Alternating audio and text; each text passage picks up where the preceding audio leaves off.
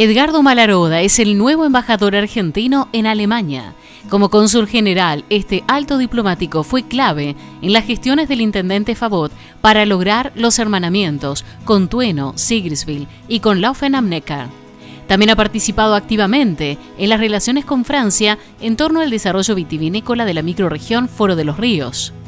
El gobierno municipal desea acercar formalmente un saludo oficial al amigo de Villa General Belgrano, que alcanzó el mayor logro profesional en la carrera diplomática y que llega al máximo escalafón de una embajada que representa a nuestro país en otra nación, en este caso la República Federal Alemana.